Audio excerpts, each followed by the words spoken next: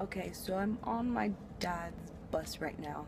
I can so drive this. I mean, look, reverse, neutral, drive, gas, and brake. I got this.